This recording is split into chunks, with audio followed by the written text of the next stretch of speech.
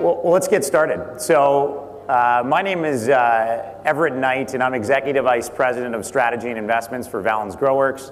Uh, Valens is the largest extraction company in Canada, uh, and we're located in beautiful uh, British Columbia, where BC Bud was created, as you can see in the picture. Uh, great views and great bud.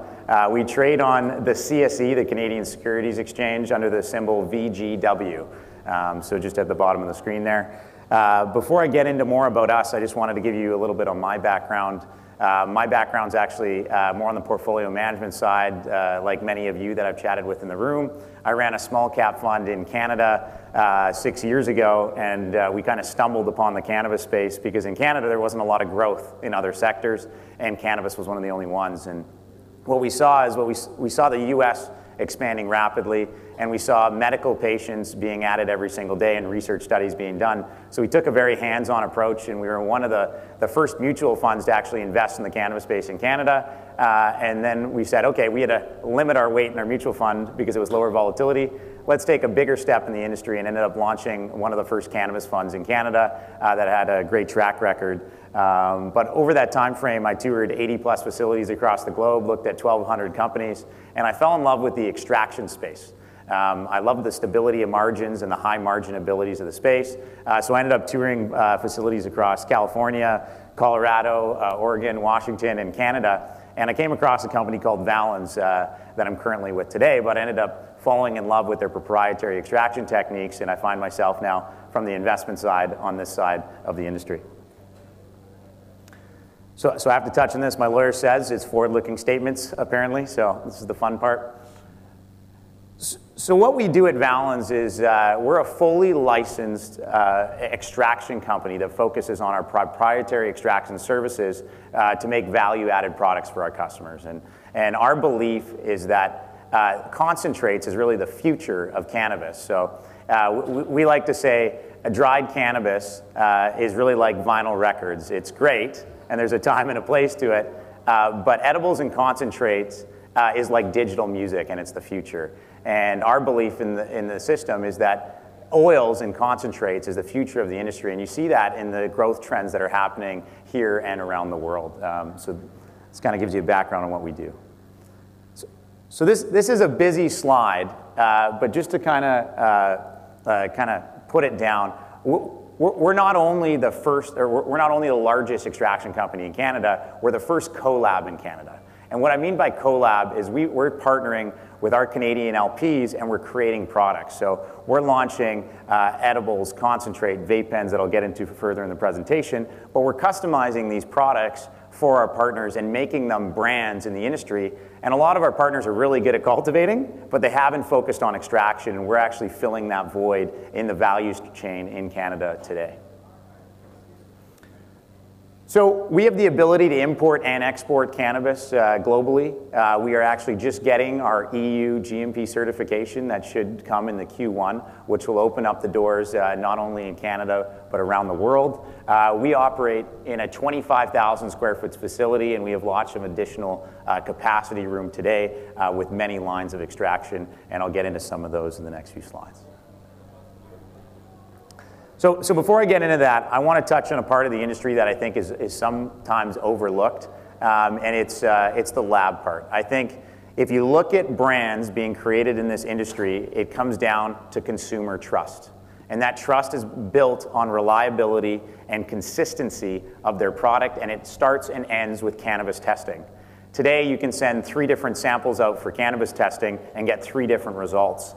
And uh, I, think that's something that we're solving slowly in the industry, uh, but we're at the forefront of it. We were the first lab to be ISO 17025 accredited uh, in North America. And uh, one of the largest testing companies, Thermo Fisher, actually partnered with us, uh, an $80 billion plus uh, company, to build a standard in testing that we don't have, not in Canada, but we want to build it globally and around the world. And uh, that's something that every extraction company needs is testing because you need that consistency for your partners and for all the LPs that come to us. We want their brands to be trusted. So we have three different revenue streams that I'll get into, but they're all based in extraction. I mean, a lot of the models you've heard today is that, uh, is that we do a bit of everything. And we come in every day and focus on one thing.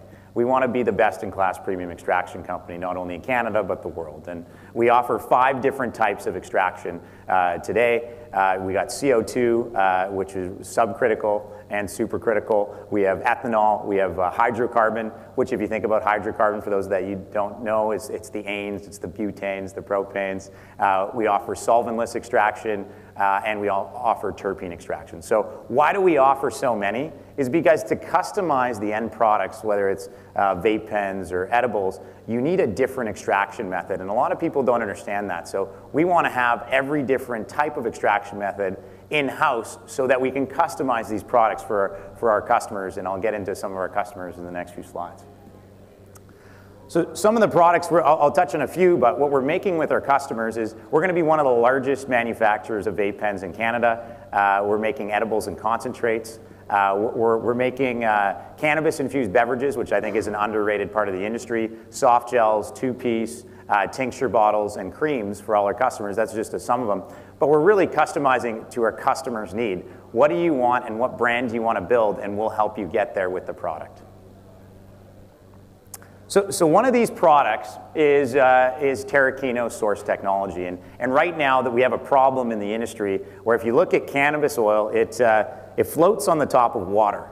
So it's not water soluble is what you say. Um, and uh, this, this nano-emulsification technology uh, that was based in Washington uh, figured out how to, how to make cannabis water soluble. And then the difference from some of the other technologies out there is that it, it, it's consistent in every sip you have. And consistency, again, is a reoccurring thing I'll talk about, but you need consistency uh, for, for those consumers to build trust in the brand. And their product is consistent in every sip. And I think the difference uh, of their product has to do with onset and offset.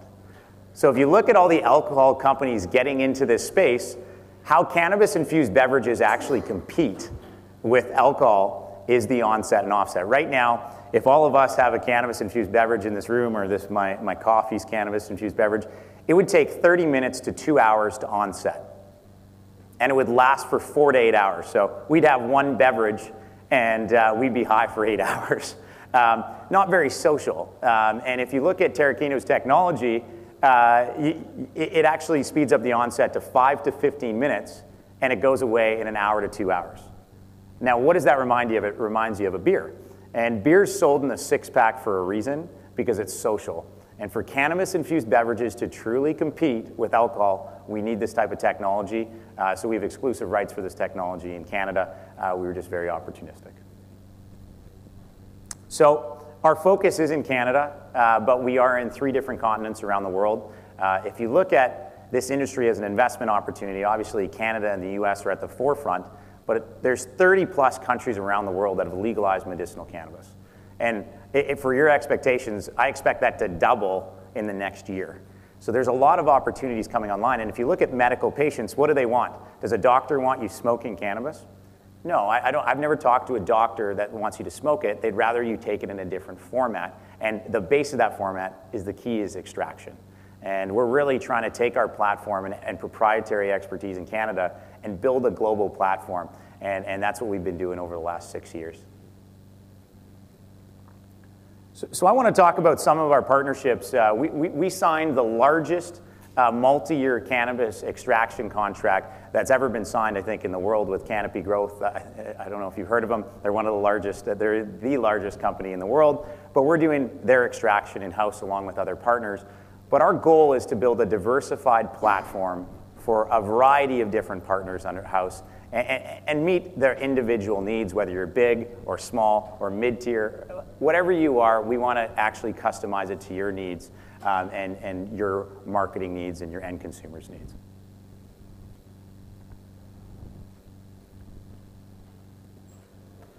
So, so I wanted to touch on uh, financial metrics. We, we don't give guidance for financials. Uh, but AltaCorp, uh, a Canadian firm, just initiated coverage uh, about two weeks ago. It is the second firm to do so on our stock, and, and this is kind of their guidance.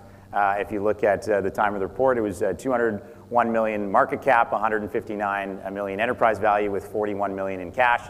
I think currently we're trading around 195 in the stock price, and their target is five dollars. But What we're trying to do is build a very profitable and high